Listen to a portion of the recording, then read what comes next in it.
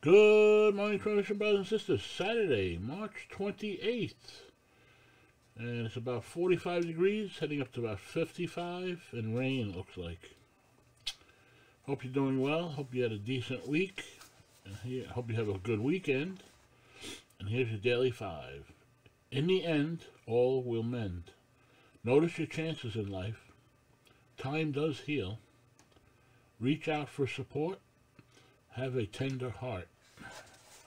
Here's our hope for the day. The weight of worldly concerns can crush our spirits. We get bogged down in life and forget what we have given to us.